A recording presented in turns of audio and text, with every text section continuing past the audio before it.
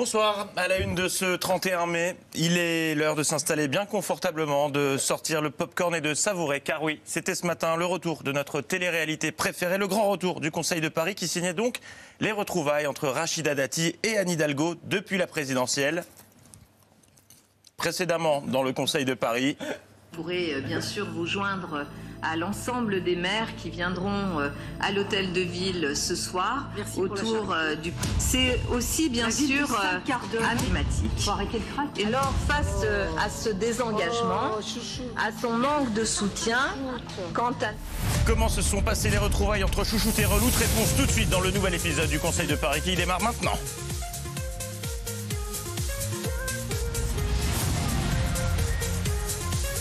La séance a débuté ce matin à 9h et a duré plus de 9h, mais il n'aura fallu patienter que 32 petites minutes avant que Rachida Dati ne tacle Anne Hidalgo sur ses absences à Paris.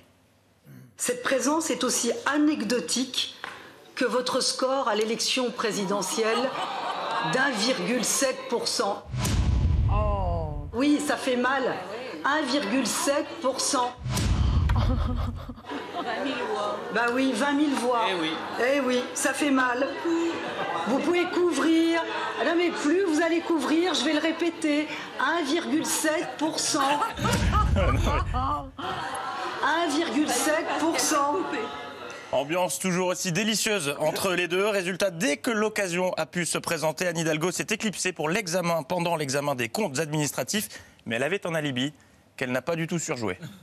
J'espère qu'il ne me sera pas fait reproche de m'absenter, puisque là c'est la loi, la loi qui va m'obliger à m'absenter de cette assemblée. C'est la loi, la loi.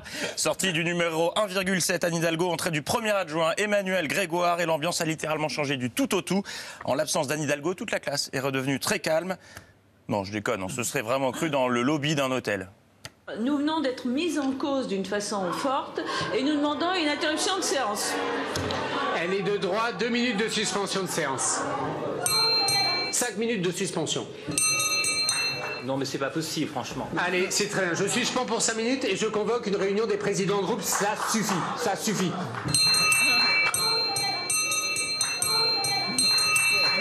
Croirait dans les pâturages, c'est beau. Et enfin, vu en tout début de séance, un drôle de zigoto, un sacré oiseau, que cette personne, je ne sais pas ce qu'il prenne au Conseil de Paris, mais ça a l'air d'être de la bonne. Réalise-t-il un test micro? Tue-t-il des mouches? Est-il le dernier soutien d'Hidalgo à l'applaudir? À moins qu'il ne s'agisse du bruiteur officiel de Roland Garros. Ah. Si vous avez la réponse, écrivez-nous. Ça a duré très très longtemps en un raccourci. Et puis il y a cette autre question qui reste en suspens. L'ambiance va-t-elle enfin s'apaiser à l'hôtel de ville? Hum, Rien n'est moins sûr. Réponse dans le prochain épisode du Conseil de Paris. Ah, le suspense est à son comble. Et on referme ces actualités avec. Chers compatriotes, chers amis, je voulais vous remercier du fond du cœur d'avoir répondu massivement présent à l'appel à dons que j'ai lancé le 25 avril dernier. Quoi? She's back? Eh oui, après de longues semaines d'absence, Valérie Pécresse est de retour pour faire le point sur sa cagnotte Litchi. Et comme euh, toutes les cagnottes Litchi, pour les anniversaires, il y a différents profils. Valérie Pécresse, euh, euh, que j'aiderai d'ailleurs financièrement parce que... Vous ferez un chèque? Oui. Voilà, il y a celle qui, lorsqu'elle a reçu le lien de la cagnotte sur WhatsApp, a dit qu'elle allait donner, mais dont on est sans nouvelles depuis sur le sujet. On a celui qui n'était pas invité à l'anniversaire parce qu'il a daubé sur euh, l'organisatrice, mais qui a quand même voulu participer. Un donateur qui s'est manifesté, c'est Nicolas Sarkozy. Un don à la candidate des Républicains qui s'élève selon nos informations à 2000 euros, sauf que Valérie Pécresse n'en a pas voulu et les a immédiatement fait recréditer sur le compte de Nicolas Sarkozy. Il y a celui qui participe au cadeau, mais parce que c'est également un cadeau pour lui. Vous-même, vous avez donné Bien sûr. Combien Écoutez, c'est entre elle et moi et, et mon inspecteur des impôts. Rapport à la défiscalisation, tout ça. Et puis, il y a celui qui participe à la cagnotte Litchi, masque le montant, mais fait quand même savoir quand il arrive à la soirée d'anniversaire que si on a pu payer un séjour en Club Marmaras, c'est en grande partie grâce à lui.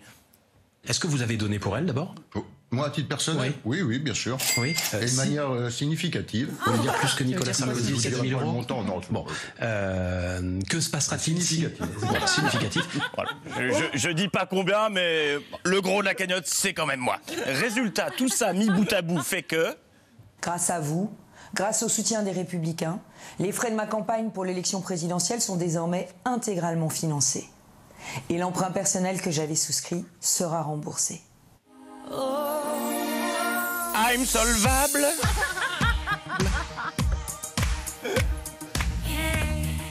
Et conséquence, Valérie Pécresse a fait une grande annonce.